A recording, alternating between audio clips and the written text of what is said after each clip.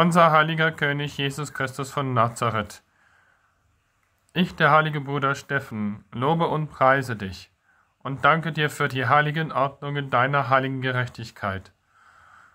Und ich bitte dich von meinem ganzen Herzen, dieses heilige Gebet nicht zu verwerfen, noch deine heilige Güte von uns zu wenden, und dass du dieses heilige Gebet bitte gesegnet und erhört hast.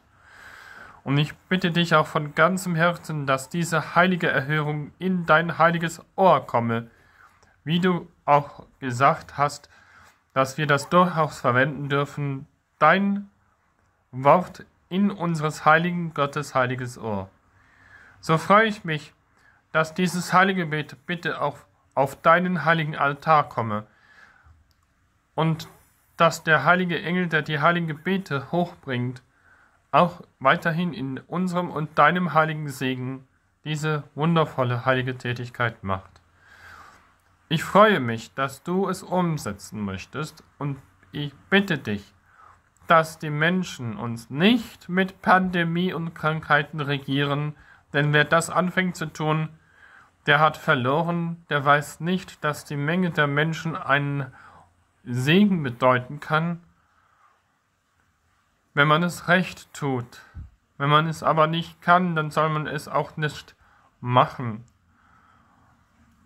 Darum bitte ich von ganzem Herzen, dass auch die erneute Festsetzung von einem Flugzeug durch eine angebliche mögliche Gefahr wieder freikommt. Und ich bitte dich, dass wenn möglich, niemand betroffen ist, damit bei uns das nicht installiert wird. Wir wünschen auch nicht in irgendeiner Weise eine Einengung unserer Freiheit, denn dazu müssten die Grundrechte geändert werden. Wir mögen es auch nicht, dass in irgendeiner Weise 15 Minuten Städte eingerichtet werden, denn das ist unverschämt.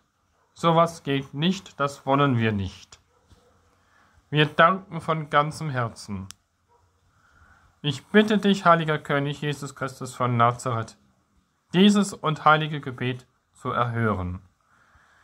Ich freue mich sehr, wenn ich auch für die Flugzeugmaschine eine heilige Gebetserhörung erhalten darf von uns.